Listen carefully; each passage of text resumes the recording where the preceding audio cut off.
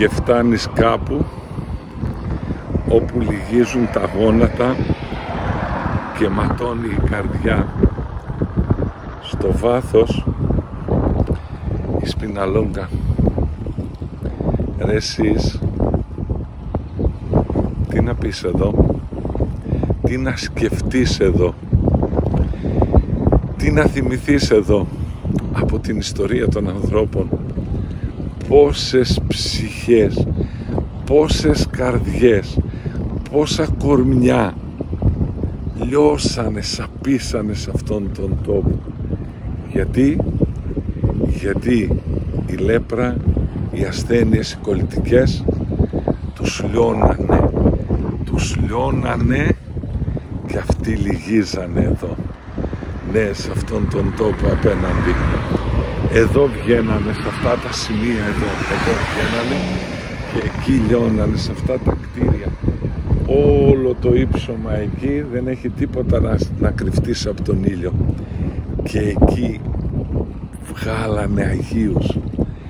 Βγάλανε ανθρώπους οι οποίοι μάθανε να προσεύχονται γιατί πήγαν οι Άγιοι πήγε ο παππούλης τους εκεί άρε παπά άρε τι λεβέντης παπάς που κάθισε τόσα χρόνια εκεί για να λειτουργεί μαζί τους μόνον ένας Άγιος Νικηφόρος ο Λεπρός και μόνον ένας γεροευμένης ο Σαριδάκης μπορεί να μας πει τι ήταν όλο τούτο εδώ που το διακόνησαν, που το υπηρέτησαν, που λιώσανε για τους λεπρούς. Ναι, λιώσανε για τους λεπρούς.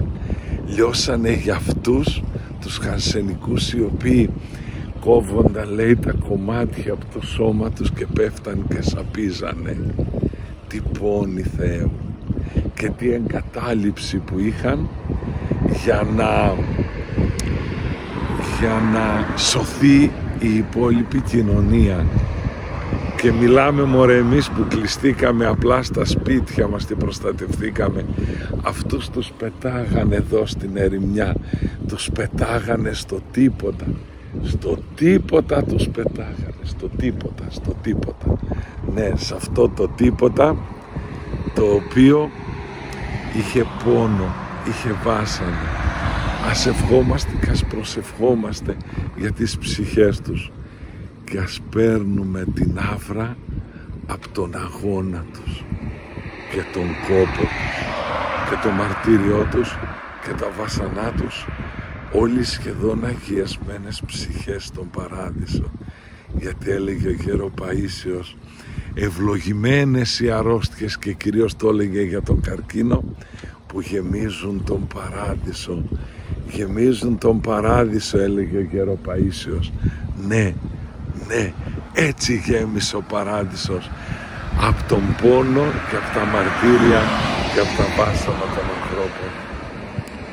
Υποκλίνομαι απλά δεν έχω να σας πω τίποτα άλλο